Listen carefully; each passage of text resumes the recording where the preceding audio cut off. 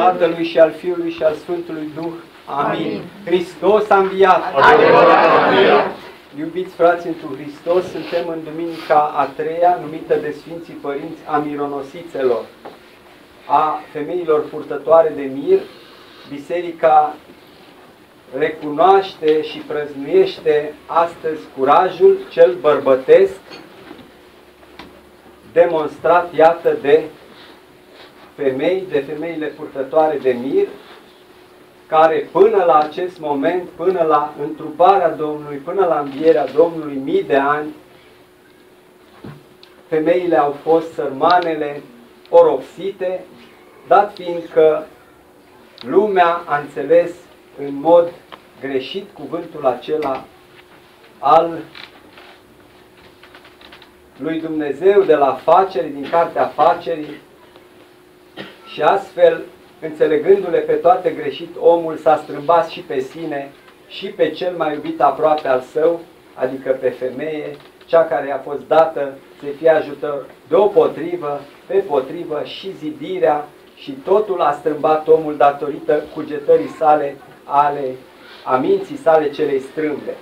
Astăzi spuneam, Biserica aduce în fața inimilor noastre, purtătorii de Dumnezeu, părinții noștri aduc în fața inimilor noastre o Evanghelie a Sfântului Evanghelist Marcu.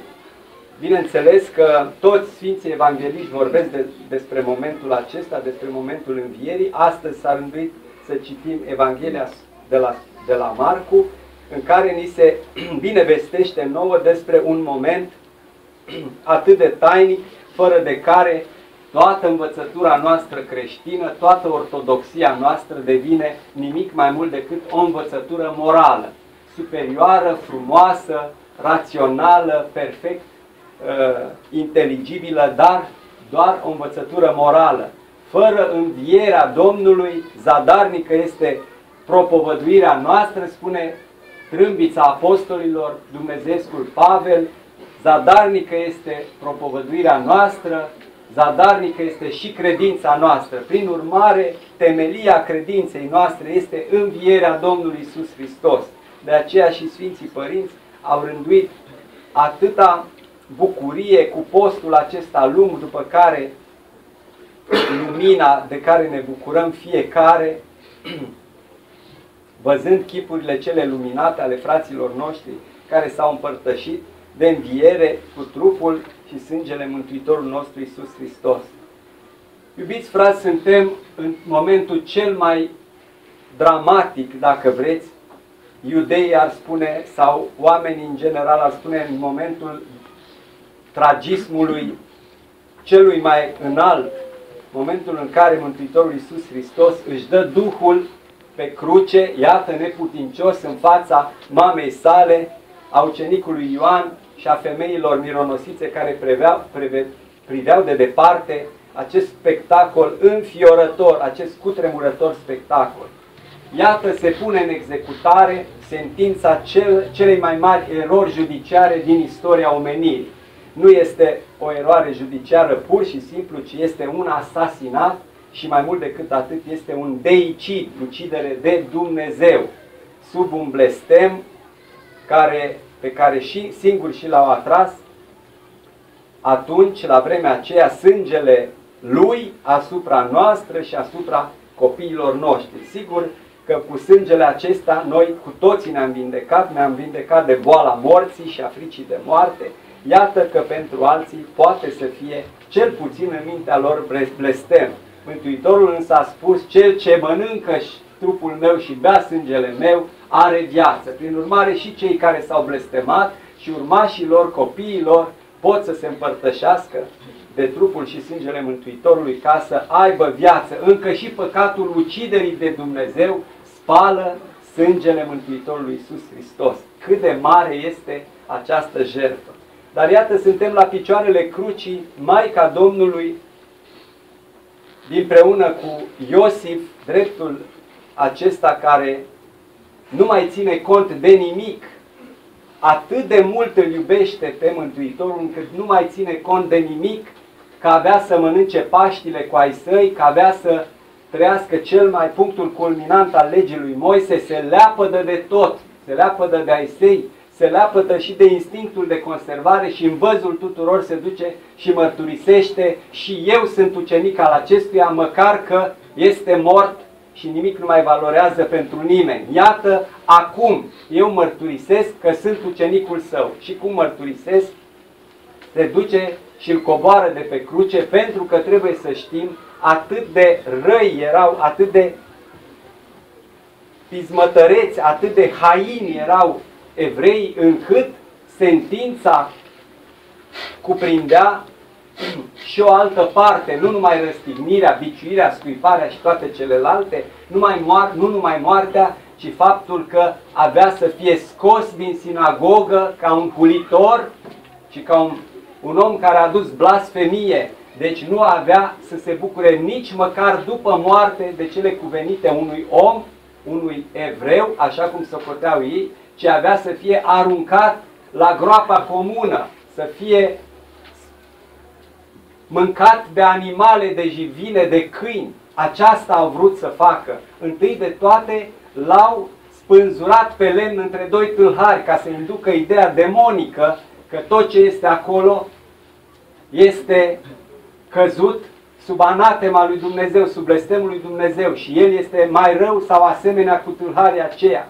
După care urma, urma să-l arunce pentru că era urma ziua sâmbetei și pentru că el nu mai avea niciun drept, era scos din sinagogă prin această judecată, avea să fie aruncat la groapa comună. Poate ați auzit că au cumpărat iudeii cu cei 30 de arginți pe care i-au recuperat de la Iuda, au cumpărat țarina orarului, care este cumpărată cu preț de sânge, țarina sângelui în care vor fi îngropați străinii și neiudei, neevrei, deci păgânii lor cum ar fi. Deci dacă pentru aceea s-a găsit totuși un loc să fie îngropați, iată că pentru Mântuitorul Iisus Hristos, așa cum la venirea în viață, smerit și atât de smerit, nu s-a găsit un loc în care Preasfânta sa Maică să nască, ci într-o peșteră unde doar Uh, mizeria și animalele ar fi încălzit puțin atmosfera, un loc în care nu avea să fie înfășat, nu avea cu ce să fie înfășat și atât de smerit îl va fi ținut Maica Domnului la sânt. Pe cine? Pe Domnul Dumnezeul și Mântuitorul nostru. Iată, toată viața a trăit smerit și acum la ieșirea din viața aceasta, la moartea sa, despre care ne-a vorbit, moare și mai smerit și mai chinuit.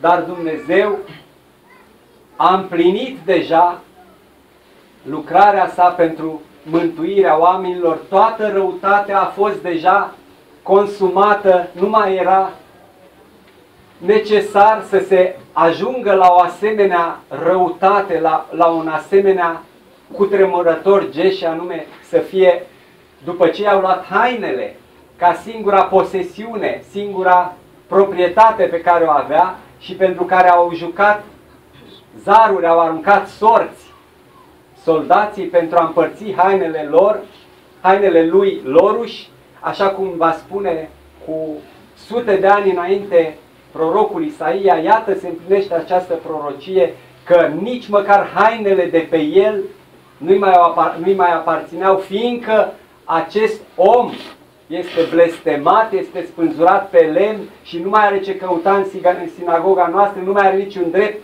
deci nu mai are nici dreptul la îngropare. Acesta este momentul când Maica Domnului îl ia în preasfintele sale mâini, îl coboară de pe cruce și știm tânguirea aceea atât de frumoasă la provod, când cântăm noi cu toții, nu mai plânge Maica, atât de frumos. Ce va fi fost în inima acestei Maici care își vede Fiul care este și Dumnezeu, despre care știe că este și Dumnezeu, că iată a fost omorât, a fost bagiocorit. Nu se teme Maica Domnului de moarte, dar nu poate să nu plângă pentru că are inimă de mamă, pentru că este om, pentru că iubește și pentru că iubește nu numai pe Fiul Său, ci iubește și lumea și știe că avea să plângă pentru aceste fapte, pentru lume, în veci până la sfârșitul veacurilor. Maica Domnului plânge pentru Fiul Său, dar mai degrabă plânge pentru fiii săi, aceea pe care Mântuitorul, pe cruce fiind, îi încredințează ei, femeie, iată fiul tău. și prin Ioan ne-a încredințat pe toți fiii oamenilor Maicii Domnului și ne-a făcut-o Mântuitorul nostru, Maica noastră, ne-a dat și un Tată, odată cu întruparea sa și iată, odată cu învierea sa, avea să ne dea și învierea. Iosif cel din Arimatea, în toată această nebunie, în toată această frică, el merge la groapă, el merge la, la cruce, îl dă jos de acolo, face cele de rânduială, cumpără in curat, pânză de in, îl îmbălsămează cu 30 de litre de mir de nard cu aloie și îl pune în mormântul său, un mormânt nou. Înainte de asta însă trebuie să știm că fiind sub puterea unei hotărâri judecătorești, unei sentințe judecătorești, nu putea să-l ia Iosif și nimeni altcineva până când nu ar fi primit aprobare de la Pilat. Așa că Iosif se duce cu mare îndrăzneală și cu mare curaj, este cu putință să credem aceasta și lucru drept ar fi să credem că a răscumpărat trupul cu bani, măcar că nu nimeni nu vorbește despre asta, dar se cunoaște caracterul lui Pilat și acesta spune, îi dăruiește trupul, dar nu înainte de a se asigura prin sutașul său care a fost la execuție, că Iisus Hristos este mort și se și miră de aceasta, iar după ce se încredințează, după ce îi confirmă sutașul că este mort, spune Evanghelia că îi dăruiește trupul lui Iosif. De asemenea, și Nicodim, cel care era ucenicul său nascuns și care în, în Sanhedrin i-a luat apărarea în momentul în care s-a făcut cercetarea penală, să spunem, i-a luat apărarea spunând, voi acuzați pe acesta fără să-l cercetați, v-ați antepronunțat, ați spus că este vinovat de moarte înainte să știți și să-l ascultați pe el și martor. Deci îi dăm vileag încă înainte de a avea loc judecata, că aveau în gând să-l omoare, nu să-l cerceteze și că totul a fost un simulacru de proces. Ei bine, Iosif se duce și îl pune în mormântul său și se pune o lespede, lespede grea de câteva sute de kilograme până la uh, o tonă, vorbesc exegeții, dar clar de câteva sute de kilograme, o lespede grea peste lumea aceasta, peste pământul acesta. Lumea arată ca și cum toată a devenit un cimitir, o mare groapă, un mare mormânt și peste care istoria și vrăjmașul au pus o lespede grea care nu mai poate fi dată la o parte. Cine ne va da nouă oare piatra aceasta de pe capul nostru? Cine va, ne va da nouă oare piatra aceasta despre, de pe mormântul nostru? Pentru că pământul nu era altceva până la întruparea Domnului decât un mare cimitir. Aceasta era pământul nostru în tot universul și noi eram în groapa aceasta din care nu puteam să ieșim. Ei bine, Iată că Mântuitorul Iisus Hristos avea să săvârșească lucrarea asta și să învieze și n-a înviat pentru El, ci pentru noi, n-a înviat ca să facă încă o minune, ci a înviat ca să desăvârșească lucrarea. Toți Sfinții Părinți ne vorbesc însă despre momentul acesta al învierii,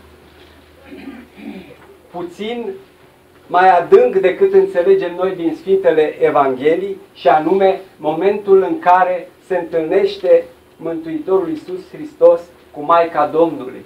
Prima persoană pe care a văzut-o sau prima persoană care l-a văzut pe Hristos înviat este Maica Domnului. Pentru că Maica Domnului l-a condus la groapă și n-a mai plecat de acolo. De aceea, astăzi când vin mironosițele la mormânt, găsesc mormântul gol, și, bineînțeles, Maica Domnului pare să nu fie acolo. Marele absent este Maica Domnului. Cum ar putea să fie Maica Domnului la un mormânt gol când știe că fiul său a înviat și nu numai că știe, s-a și întâlnit cu el și a îmbrățișat preasfintele picioare. Despre aceasta vom vorbi odată când o să vorbim despre omilia Sfântului Grigore Palamaș și a altor părinți, Sfântul Ioan Damaschinul, despre întâlnirea Mântuitorului Iisus Hristos cu Maica Domnului după înviere. Altfel însă, evangeliștii ne spun, iată că Mântuitorul Iisus Hristos, în momentul în care a înviat, s-a produs un cutremur mare, astfel încât soldații care erau puși acolo tocmiți de către iudei, care anticipaseră cumva, sau dacă vreți, nici după moarte n-au vrut să-l lase în pace, au cerut lui Pilat să sigileze cu sigilul imperial mormântul și să pună pază astfel încât să nu existe niciun fel de posibilitate ca să se împlinească, gândeau ei în mod fals și mincinos învierea Domnului printr-un fur sau altă înșelătorie. Ei bine, și Pilat se învoiește cu ei, tot pentru niște bani probabil și spune, merge și întăriți cum știți, adică plătiți o cohortă, plătiți acolo uh, niște soldați, pune sigile, cum știți voi așa să faceți, numai să fiți mulțumiți. Și iată că Mântuitorul este păzit de soldații romani care duminică, sâmbătă spre duminică noaptea, păzind ei acolo mormântul, neștiind exact foarte bine ce caută acolo, dar păzind ei mormântul a unui condamnat osândit la moarte foarte periculos, după cum le, li se va fi spus de către iudei, iată că simt cu tremur mare o lumină, cade lespedea și ei cad la pământ ca morți. Ei cad la pământ ca morți. De aceea când vin mironosițele, adică la momentul în care se îngână ziua cu noaptea, deja mormântul este gol, deja niciun soldat nu mai este acolo. Prin urmare se pune o întrebare firească, cine ar fi cei care, fi, care, ar, ca, care au aflat primii de învierea Mântuitorului Iisus Hristos? Soldații romani. Și apoi cine sunt alții următori care află de învierea lui Hristos? Păi cei care l-au acuzat. Pentru că spun evangeliștii și de fapt de aici pornește o întreagă polemică, o întreagă luptă de 2000 de ani care nu s-a mai terminat. Pentru mine este sfârșită, pentru că eu am înțeles și știu ce s-a întâmplat, anume că soldații s-au dus la, la cei care i-au tocmit și au spus din pricina faptului că nu ne-am făcut datoria, legea noastră, adică legea imperială, spune că vom fi defăimați și trimiși la moarte. Iar aceștia îi întreabă de ce asta? Pentru că, iată, s-a făcut cu tremur mare, o lumină mare și noi am rămas neputincioși, mormântul este gol și am văzut acolo doar mahrama, Sfânta Mahramă și pânza lăsată deosebi într-o parte. Sigur că aceasta de 2000 de ani pare o poveste, dar cu aceasta am început cuvântul de pe care îl spune și Sfântul Apostol Pavel, învierea este temeiul credinței noastre, învierea este temeiul creștinismului nostru. Până noi nu avem, nu suntem încredințați în inimă despre învierea Mântuitorului Iisus Hristos, iar asta nu se poate face decât când în, în inima noastră a înviat, până atunci toată, tot cuvântul acesta și tot ce s-a scris despre asta va fi o poveste frumoasă, o poveste emoționantă, dar care rămâne doar la nivelul acesta, cel mult al esteticii literare sau cel mult al uh, basmului frumos și bine spus.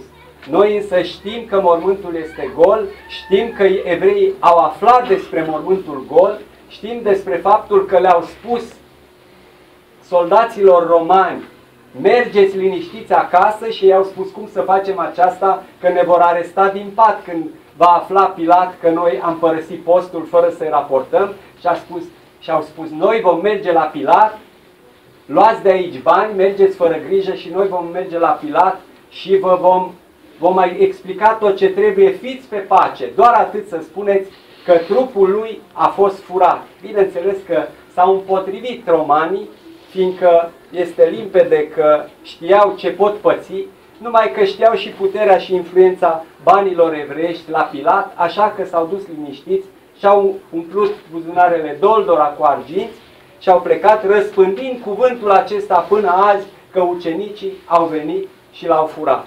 Despre aceasta, când veți avea bucuria să stăm de vorbă, am pregătit un cuvânt un pic mai amplu, un pic mai, uh, cum să spun, Um, cercetat, să zicem așa, cu argumente logice, cu argumentele juridice și cu argumentele bun simț și chiar aș dori să odată cu această expunere când va fi, odată să vedem cum vom face, să mă dea cineva în judecată spunând că cele pe care le-am spus eu acolo sau le demonstrez eu acolo nu sunt adevărate. Abia aș aștepta un asemenea dar. Revenind însă la momentul acesta, iată mironosițele, cele care nici ele nu credeau, apostolii speriați, ele speriate și ele, dar dragostea inimilor, curajul inimilor vine dintr-o mare jerfă, pentru că femeia este capabilă de o mare jerfă, fiindcă este capabilă de o mare putere. Iată, Maria Magdalena nu uită din ce iad a scos-o Mântuitorul Iisus Hristos și socotește că bine ar fi să facă cele rânduite, slavă Domnului că nu l-au aruncat la groapa comună și dacă tot nu s-a întâmplat aceasta, hai să mergem să facem cele rânduite pentru îngroparea sa. Și iată mai ia câteva prietene care și ele erau ucenicele Mântuitorul Iisus Hristos și merg noaptea în cimitir, toți ne spun că era undeva înainte de ivirea zorilor, afară de Sfântul Evanghelist Marcu, care spune că s-ar vedea deja o, o șuviță de lumină, dar în orice caz undeva între orele 3 și 4 dimineața, așa cum este acolo în uh, Orient, s-au dus la cimitir și ce credeți? Își puneau niște întrebări de ordin tehnic nu se gândeau la nimic, nu se gândeau la înviere, pentru că nu credeau la, în înviere, după cum am spus, nici apostolii nu credeau, nimeni nu credea, un singur om pe pământul acesta știa despre înviere și credea în înviere și văzuse deja învierea. Maica Domnului. Nu numai că a văzut, dar știa dinainte, știa de încă de la buna vestire că Arhanghelul Gavril îi vestise aceasta și o învățase toate câte se vor petrece. Iată că Arhanghelul Gavril, pe care noi îl iubim atât de mult și pe care îl cinstim aici și de fiecare dată îl pomenim la sfârșitul slujbei sau la începutul slujbei, este prezent și astăzi. Le așteaptă pe femeile mironosite, fiindcă au ordin, au poruncă de la Hristos cel înviat să le spună ce au de făcut. Foarte interesant. Au are ordin Arhanghelul Gavril să le spună femeilor mironosițe. Gândul lor era cine ne va da nouă lespedea la o parte, pentru că 3-4 femei nu puteau să prăvălească o stâncă din aceea de câteva sute de kilograme și ridicând ochii, ce să vezi? Mormântul gol. Primul gând care îți vine când nu crezi este unul rațional. Unde l-au pus? L-au luat de aici, l-au furat, ce-au făcut? Iată cât ce rău ne pare, trebuia să venim mai devreme, oare când lor fi luat sâmbăta, dar sâmbăta n-aveau voie iudeii să se miște din casă. Deci iată că ele doar câteva ore de sâmbătă spre duminică au întârziat și deja se gândeau că evreii au luat trupul acela și l-au ascuns undeva sau l-au dus în altă parte. Nici prin gând nu le trecea ce avea să le spună Arhanghelul Gavril când s-au apropiat și l-au văzut atât de luminos și s-au înspăimântat, s-au cutremurat, spre deosebire de Maica Domnului care, după cum știți la buna vestire, nu s-a înspăimântat, ci doar s-a mirat. Ce este închinarea aceasta, pentru că îl, știa pe, îl cunoștea pe Arhanghelul Gavril încă de copiliță din templu, iată, ea are un dialog, nu se spăimântează ca una care cunoaște și vede îngerii. Acestea s-au spăimântat văzând ce un tânăr frumos, și aici să zăbovim puțin asupra acestei frumuseți a tinereții. Vedeți că noi, nu în chip întâmplător, am pus numele bisericii noastre capela tinerilor. Nu este vorba numai decât de faptul că numai tinerii au voie să intre în ea sau ne adresăm numai tinerilor, ci faptul că la înviere toți oamenii vor arăta așa cum sunt cei mai frumoși cum este omul cel mai frumos? Este atunci când a trecut de vârsta gângurelii, a copilăriei, se împiedică, încă e nedezvoltat, este între ape, este matur, este frumos, este, are forță, are vigoare, are dragoste, are năzuințe, are zbor, visează numai spre cele înalte. Acesta este matur, nu mai gândește abstract, ci vede lucrurile concret, are experiențe. Aceasta este vârsta la care spun toți exegeții biblici, iată ne spune și Mântuitorul lui Hristos, că vor fi cei care vor învia cu trupurile la a doua venire. Trupurile vor fi ca ale Mântuitorului înviat, vor fi străvezii, vor fi trupuri duhovnicești, dacă ale unor tineri. Și încă ceva foarte frumos ne spun Sfinții Părinți, că niciun beteșug din acesta trupesc nu va mai fi. Cei care au stat sărmani în scaune cu rotile, cei care au fost paralizați, cei fără ochi, cei care erau mutilați sau altfel, vor fi ca acest arhanghel, ca îngerul Gabriel. Și noi ne vom bucura, ne spun Sfinții Părinți, aceasta va fi frumusețea, că noi ne vom umple de bucurie aceasta văzând trupurile acestea frumoase ale celor cunoscuți ai noștri și încă cele suferinde despre care știm că au suferit și le vom vedea atât de frumoase. Și această bucurie de a vedea trupurile atât de frumoase o vom împărtăși și celor care ne vor vedea pe noi frumoși.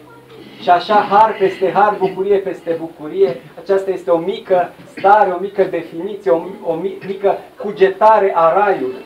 Ei bine, Arhanghelul Gabriel le spune, nu vă spăimântați. Cum să nu te înspăimânți dacă ne-am întâlnit acum cu un înger? Eu dacă m-aș întâlni acum cu un înger, probabil că n-aș mai face emisiunea vreo două, trei luni. Dar cu mila lui Dumnezeu, iată, această, acest cuvânt le-a întărit pe femei și are loc un, un dialog extraordinar de frumos, atât de frumos, un dialog în care Mântuitorul Iisus Hristos îi dă porunca la Angelului Gabriel și le spune acestor femei, Mariei Magdalena, iată, cea care, pe care a scos-o din adâncul iadului, îi spune, du-te și mărturisește despre înviere, du-te și mărturisește despre faptul că ai văzut că mărmântul este gol și că Arhanghelul ți-a spus că Hristos a înviat. Ei bine, sigur că trebuie să se producă ceva în inima omului ca să creadă numai după cuvânt, fie el și de înger. E foarte greu, după ce ai căzut prizonier zeci de ani, acestei cugetări omenești, acestei mâloase, năclăite, care nu te lasă deloc să te dezmărginești, nu poți să crezi mai mult decât vezi sau decât atingi, cum spunea Toma. Nu poți și nu poți. Cum ar fi putut numai la un cuvânt? Și iată că spune Sfântul Evanghelist Ioan că se întâlnesc mironosițele cu un alt înger. Îl socoteau însă că e grădinar. Numai că era Mântuitorul înviat și Maria Magdalena este un episod absolut minunat. Maria Magdalena plângea. Și un cuvânt după înviere pe care îl adresează, primul cuvânt pe care îl adresează Mântuitorul altei persoane decât mamei sale, pe care nu-l știm fiindcă e taina lor, este acesta adresat unei desfrânate, unei foste păcătoase, unei foste păcătoase și femeie, iată, nu unui bărbat, nu unui apostol, ci unei păcătoase și spune, femeie, de ce plângi? Cel mai frumos cuvânt pe care îl adresează pentru că știe că de mii de ani și pentru până în veci, până la, la judecata cea de apoi, femeia va avea lacrimi, femeia va plânge. Poate că plânsul acesta al femeii este legat cumva și de părerea de rău că, iată, și prin ea a căzut lumea, măcar că Adam trebuia să aibă grijă de femeie, dar asta e o altă discuție. Iată plânsul femeii, iată Adam nu e nicăieri, este Adam cel nou, iată femeia cea slabă și așa cum spun, uh, vor spune bărbaților, apostolii, vor spune că este smintită de frică, primește cuvântul acesta, femeie, de ce plângi? Pe cine cauți? Pe cine cauți de plângi, femeie? De ce mai plângi, femeie?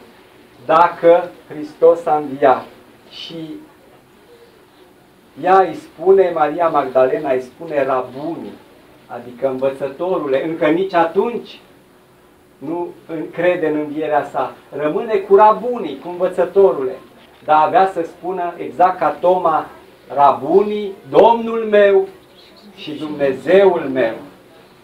Și Mântuitorul îi spune Maria, atât de frumos este numele acesta, iată, Maria, slavă Domnului, că îl poartă și femeile, fetele din poporul nostru.